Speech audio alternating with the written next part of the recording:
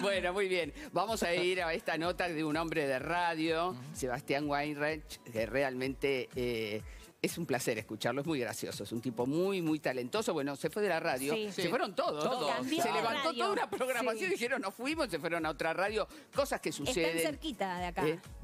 ¿Cómo? Acá en Palermo, está, Sí, están sí, sí. cerca. Acá todo pasa en Palermo. Exacto. Esto es un gran zoológico. Canales de televisión, productoras, radio. Esto es. Bueno, nos vamos con Sebastián, dale.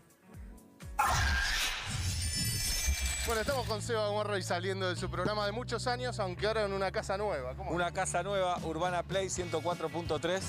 Eh, la química intacta. Lo siento como una continuidad. Estamos recontentos, está saliendo genial. Eh, es radio y es tele también. salimos- Claro, eso, es la, la nueva radio porque están por internet, están en un canal de cable. ¿Cómo es? Estamos en KZO, estamos en YouTube, estamos en Twitch, estamos en, la- en el sitio de la radio, estamos en la radio de verdad además y próximamente tendremos nuestra app. Bueno, hay cosas de la radio que no se pueden hacer. Por ejemplo, ahora tenés que cuidar más la apariencia o no le das bola. Bueno, así. Hola, ¿qué tal? Linda remera, de todas formas, la. La remera es muy linda. Eh, no, algunos gestos que antes hacíamos, algunos chistes internos con gestos, pero el resto está todo igual.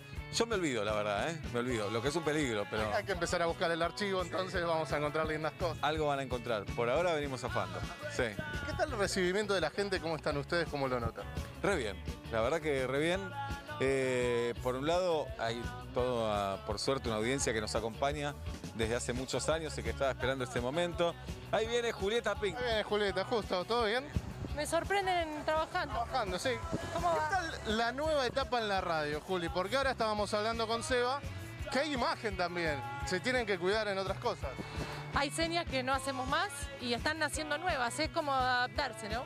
Por abajo de la mesa hacen algo.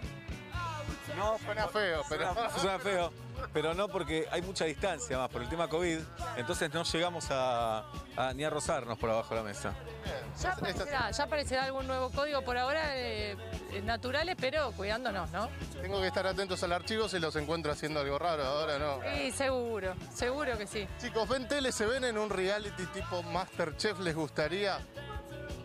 Eh, no, no, yo la, la- la paso muy mal, sufriría, lloraría mucho, eh, citaría... Bueno, no es la idea de los reality, en buena parte. Entonces llegaría a la final. Bien ahí, sufrida. ¿Vos? Eh, yo cocino muy mal, entonces en Masterchef no porque, pero nada contra el programa, sino porque no, no serviría y se burlaría. Corte y, confer- y confección, al- poniendo alguna bondad, Eh, bailando.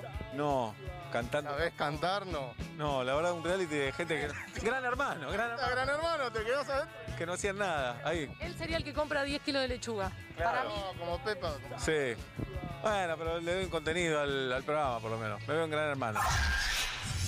Bueno que están los chicos, ¿no? Bueno, muy bien. Un éxito realmente el programa de Seba. Muy Años. divertido. Y además eh, un nuevo lugar para un montón de gente, digamos, que, que- que tenga trabajo. Está muy bueno lo que están haciendo en la nueva radio acá, que es de, de los Urbana, mismos dueños de. Cuarzo, Urbana, porque eh, tienen, por ejemplo, las mesas son de cuatro y cuando hacen los pases tienen una mesa que está en el patio de, de acá de la productora, porque está donde está el mismo terraza. lugar de la productora, donde sale Mirta Legrand, Sí, donde Estudio sale, Mayor, sí. todos, Donde Estudio salía Mayor. Nicola al mediodía, Eh, que lo sacaron del Claro, y, y tienen como, digamos, hay cuatro que están en el estudio y cuatro que están afuera. Y después los cuatro que están afuera, cuando es el horario de su programa, después de que hacen el pase, pasan al estudio. Está muy muy bueno y todo se puede ver por YouTube y por las redes.